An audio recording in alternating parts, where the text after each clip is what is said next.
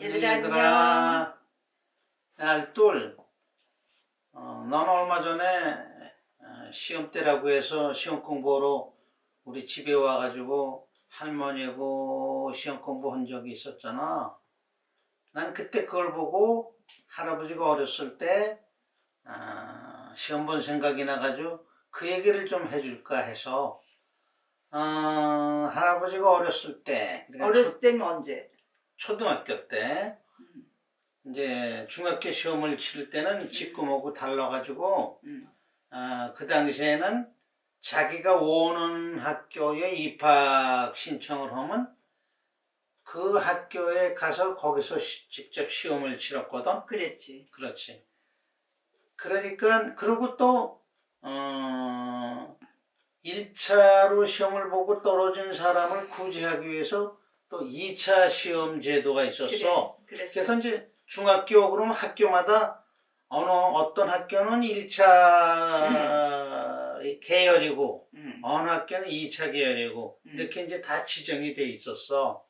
근데 물론 이제 나도 아 1차로 이제 학교를 지원했는데 그때 나는 초등학교는 효재 음. 국민학교 종로에 있는 그치. 거기를 다녔고 그다음에 이제 공부 성적이 좀 괜찮은 편이니까 아 경기중학 음, 일차로? 1차로 경기중학을 지원해서 경기중학에 가서 이제 시험을 치렀지. 공부 잘했군 뭘 그럼. 음. 음.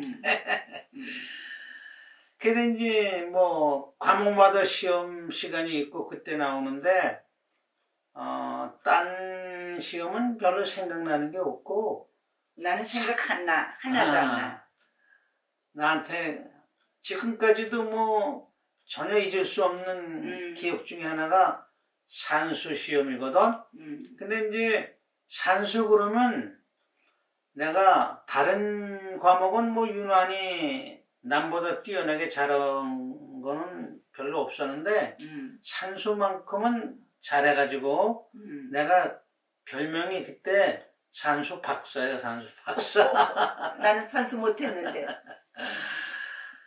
그래 이제 산수 시험 시간에 아니 어느 정도로 잘했길래 산수 박사라고 그랬어?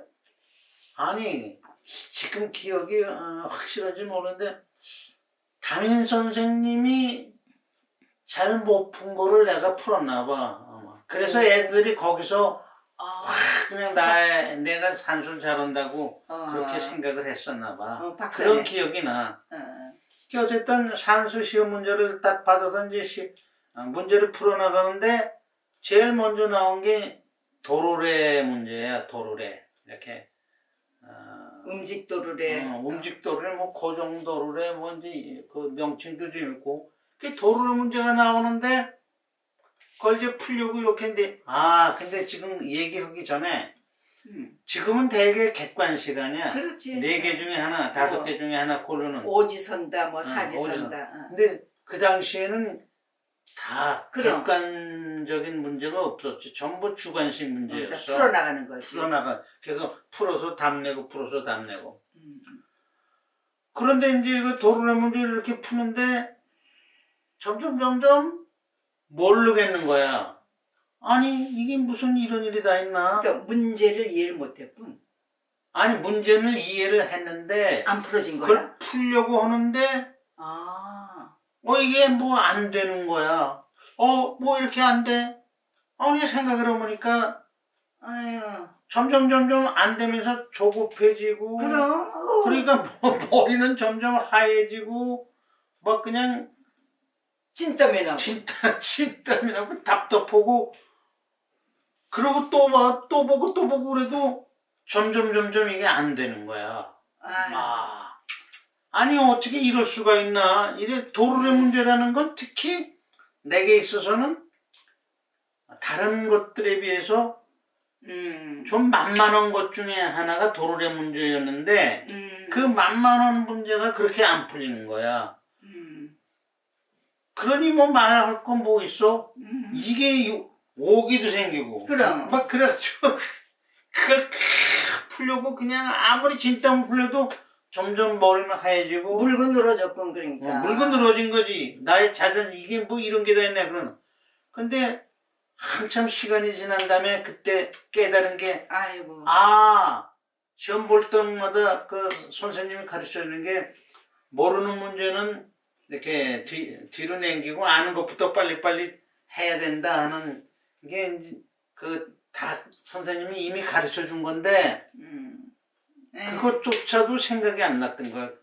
그게 이제 시간이 많이 지나간 다음에는 그걸 남기고 이제 시작을 하려니까 시간이 얼마 안 남아가지고 음. 반도 못 보고선 결국은 종이 쳐버렸어. 에이구. 그러니 뭐 100점을 받아야 할 산수 시험에 뭐 50점이 될까 말까한 점을 받았으니까 음. 당연히 붙을 수가 없지. 다를고 떨어졌구나. 아이, 거기 이제 발표원을 간- 갔더니 그게 떨어진 거야. 그래가지고 에이. 결국은 2차 시험을 보게 됐지. 그러면 2차 학교 시험 때도 또 생각나는 그런 문제가 있었어? 아, 동성 시험 보러 갈 때 그 시험지의 문제 중에 딱, 야, 이러건 어. 기발한 문제가 있구나. 어, 그게 생각나는 게 있어? 그래가지고 그게 생각이 났, 그건 참, 기- 내 나름대로 그 당시에 그 문제를 보면서, 야, 이건 너무나 기발하다. 그렇게 생각한 게 있었거든. 어, 그게 어떤 문제였는데? 아, 그거. 어. 아, 근데 그거는 다음번에 아, 얘기해. 아예. 어, 뭐, 뭐지? 아이고. 자, 그럼 오늘은 어, 할아버지의 그 시험 문제, 시험 친 얘기를 하는데, 거기서 꼭 니들한테 얘기하고 싶은 것은 꼭 잊지 말고, 음.